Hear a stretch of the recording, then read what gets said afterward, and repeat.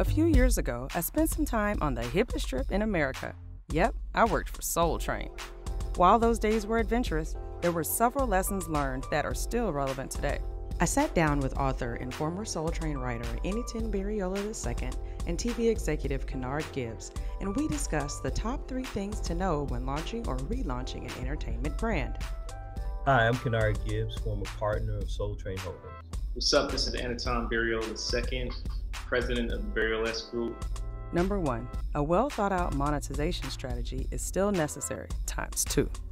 Brands can be wildly popular on one platform. However, generating revenue at scale online is no cakewalk. Because I think extending the brand, giving it more consumer contact points was very important. However, you know, certainly an, an OTT type service, right, is something that we would probably look at today, um, just given the amount of content that we have. Number two, utilize growth strategies that leverage content. And then the approach of Soul Train, Soul Train encompassed um, fashion, it encompassed dance, it encompassed music, all as a lifestyle.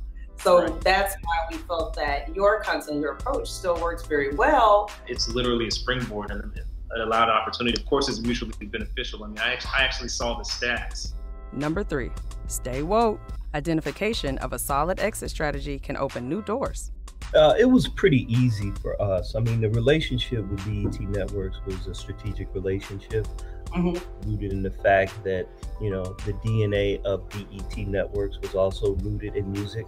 The culture, uh, the brand uh, was already understood, you know, by the BET.